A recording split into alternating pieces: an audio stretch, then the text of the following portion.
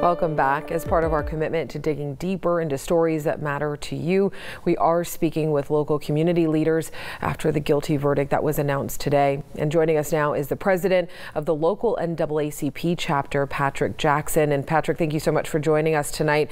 Uh, I want to first start off by asking you, do you think the jury got this verdict right?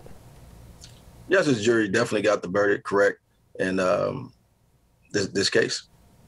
And how do you think this trial has impacted the black community, not just on a national level, but obviously right here in Kern County as well? Do you think there's been any impacts?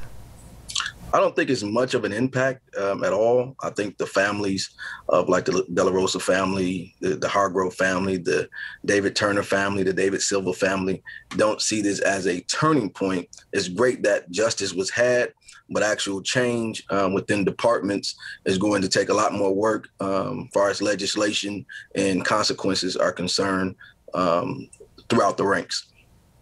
And so, talking about police reform, what specific actions and policies do you feel need to be changing specifically here in our own community?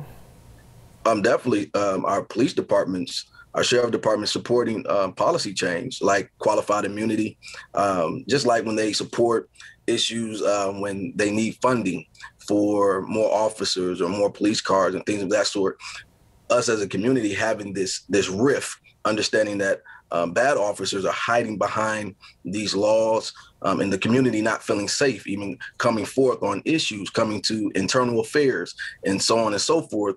Um, supporting policy change is essential, and the police unions um, they don't support those type of policy changes um, that have been brought forth um, thus far. And do you think there needs to be more diversity on the police force, whether it's the sheriff's office or the Bakersfield Police Department? I think when we start to go down that road, I think we we start to change the narrative of what really needs to happen. Um, you can put more officers in those positions. Of course, we don't have enough um, uh, minorities to go into a lot of these different fields that are comfortable in the first place.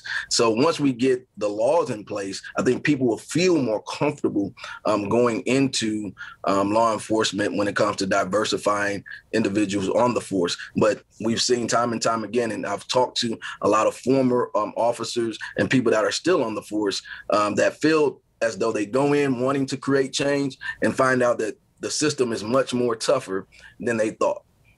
And as a local leader, last question here I want to ask you where do we start? Okay, the verdict came down.